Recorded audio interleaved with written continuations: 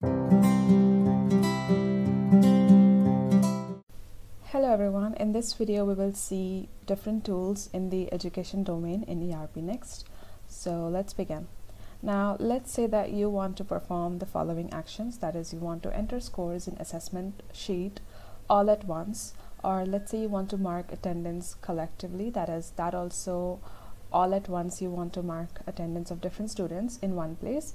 And then let's say you also want to enroll a group of students into a program. That is you want to do a program enrollment of um, different students without going into like each of the different separate students doc type so what i mean by all this is let, let's go.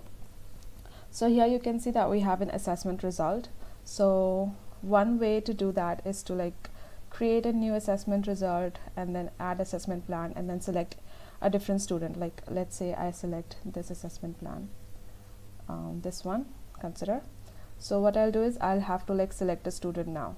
And then each time I'm selecting a student I have to like go here enter and this way I have to do for let's say there are 50 students I'll have to do this way for 50 students by going each of their into each of their doc, doc type and then creating a separate for them. So in order to do it in an easy way we have a tool that is assessment result tool.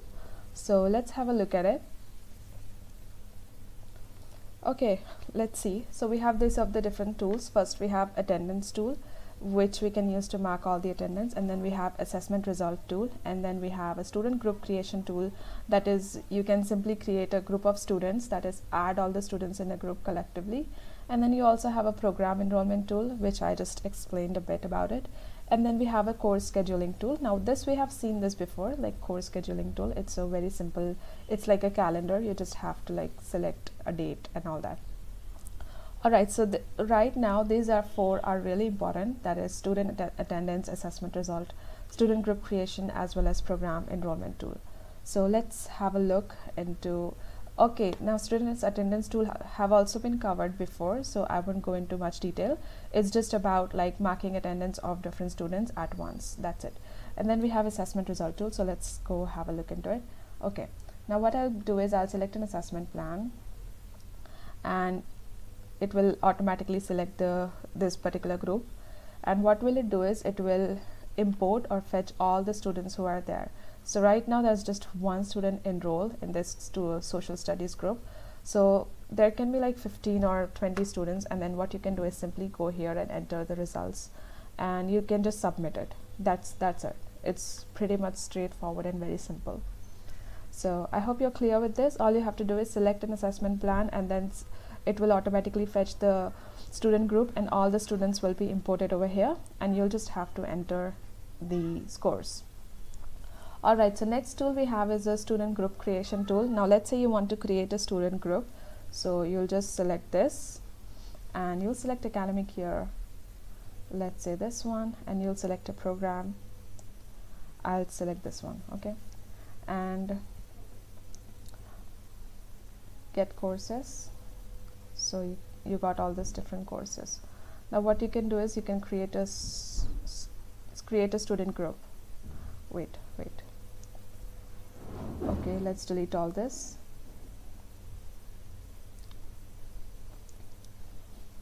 Okay I'll just select one any one of that and we'll do it.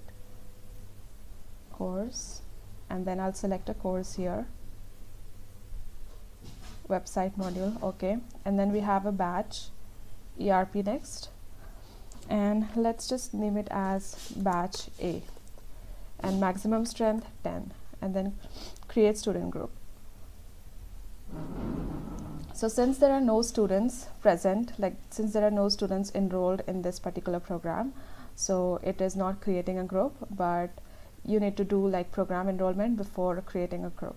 So i hope you understood the purpose of the student group creation tool that is you can just create a student group collectively. Now all right let's go back and we have another one that is program enrollment tool. Let's have a look at it. So what we can do is we can just directly enroll different students into the program.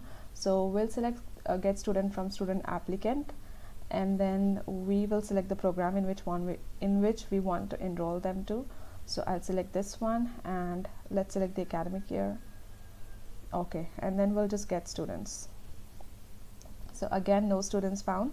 So why is it saying that is because no students have been approved yet. So that's why it is like giving this particular message. So what it will do is like if there were students present with the status approved so what it would have done is it would have given like fetched all the students into this particular um, row over here. That is student applicant and then student and then student batch name. Let's try doing with this one we'll see if we can get any. Okay we got this two students over here for this particular ERP next training okay?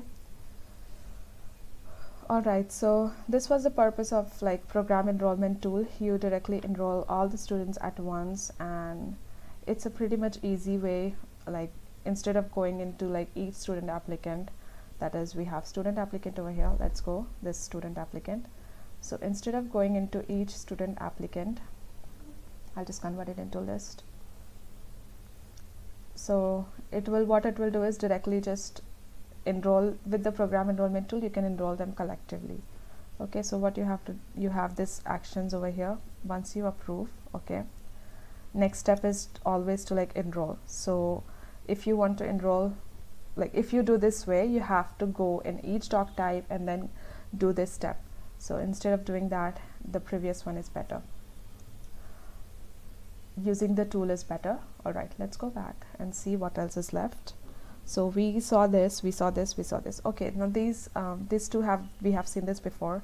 The course scheduling tool is simply just uh, scheduling the uh, I told you like it's like a calendar. You just have to add a course start date and then end date and then from time and you have to select an instructor as well as the room where the course will be taken place.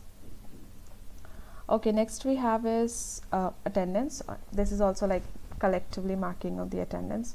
So let's do this student group. Let's select the student group. This one okay. Date let's select today's date. Okay and we have one student over here. So what I'll do is I'll just mark the attendance and done.